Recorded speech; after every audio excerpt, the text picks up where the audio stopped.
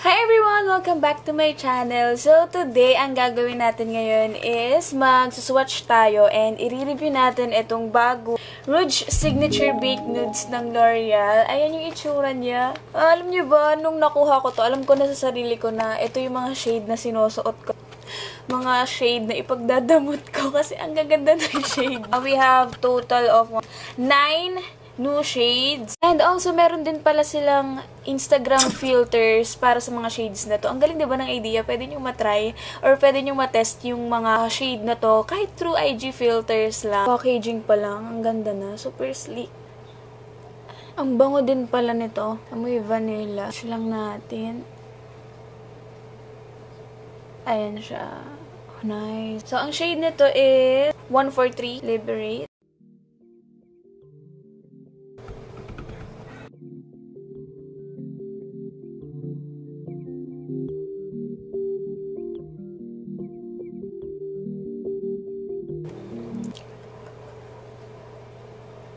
Akala ko parang matte liquid lipstick siya. Pero sobrang, sobrang gaan niya sa lips. Parang water base. Para siyang lip tint. 143 Rich Berry Mauve shade.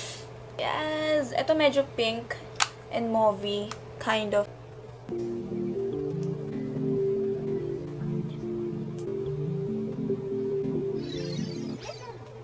So, next shade na itatry natin is itong 144 Conquer. Ito naman is Warm Brick Red. Uy!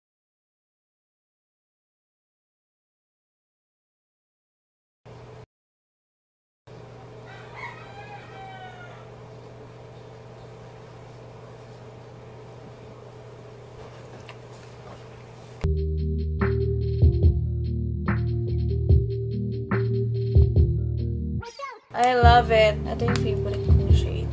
Pero let's see, baka may mas magaganda pa dito. Pero ito, the best. If you guys think na parehas tayo ng skin tone, magugustuhan nyo to as in super, super.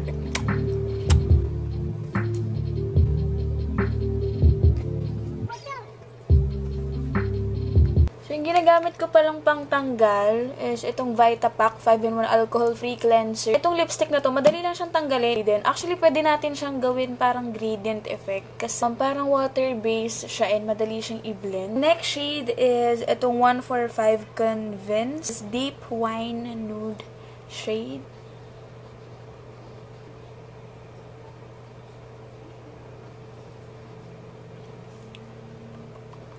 Ayan siya guys, kapag medyo gradient yung effect. And kapag full lips, ganito siya.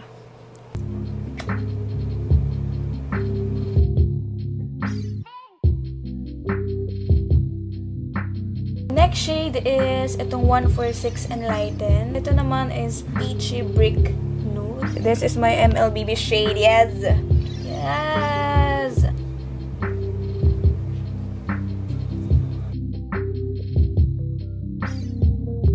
Mamaya pala makikita nyo yung mga shade na isa-suggest ko. So, next shade, we have 147 Believe. Ayan, ito Muted Peachy Nude. Wow! Ang ganda. Mas peach yung shade na to.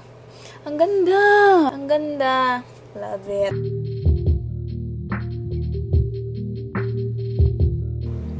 Next shade is ito, the shade Hunt 148 Warm Coral Nude.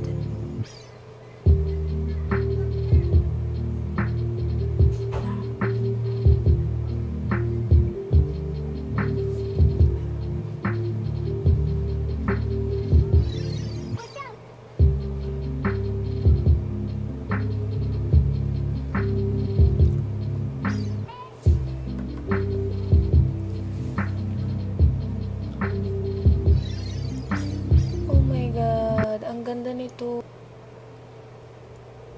Ang galing, no? kasi itong mga shades na to, parang meant talaga siya for your skin tone. This is my shade. Ito, Warm Coral Nude 148 and the shade Hunt. Ah, ang dami ko ng favorite shade.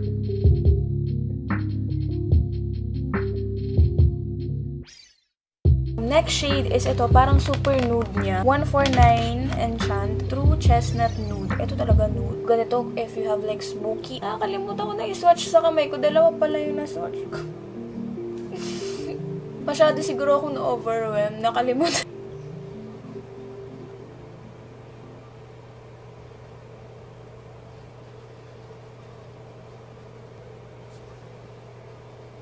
kahit nude yung shade nito, parang pwede ko pa rin siyang gamitin for everyday. Last two shade, ito, 150 Dominique. This one is warm pink nude. Pink, natin to pinks.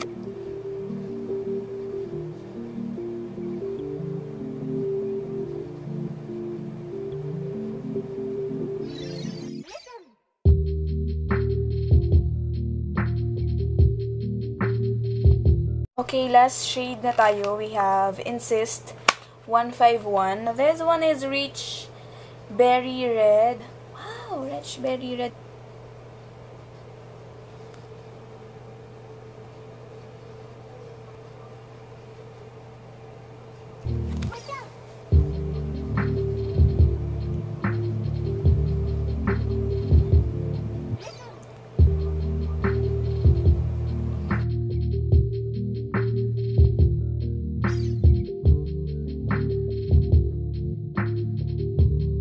It's completely matte when it dries, pero hindi ko alam kung lip tint ba to or lipstick. Pero para sa akin, para siyang lip tint. Lahat to, magagandang shade talaga and feel ko na masusuot ko and magagamit ko. Pero ang hirap mamili ng isa-suggest sa inyo kasi medyo marami akong napili. Alam mo kasi talagang tapon sa shade as in lahat maganda. Ito yung mga nagustuhan ko. Itong 148 Hunt. 147 Believe. So, okay lang siya. Maganda siya for everyday. Ganun. Itong 145 Convince. 144 Conquer. At saka itong 146 Enlighten. Ayan talaga yung nagustuhan ko personally. So, each product, it retails for 399 pesos. And you get 7 ml. Super worth it na to. Kasi yung formula kasi sobrang ganda. And it doesn't even feel like you're wearing anything. It is very soft on the lips. And it dries matte. So, so um, available din pala sila sa Lazada. Ilalagay ko na lang yung link sa description box and also yung Instagram account nila para ma-test or ma-try nyo rin yung kanilang IG filters. So, ayun lang. Thank you guys so much for watching. Sana na-enjoy nyo itong ating lip swatching video. And syempre, hindi ko ilalagay sa video title na meron tayong giveaway. Sobrang simple lang ng mechanics. All you have to do is subscribe to my channel, comment below for any video idea ideas.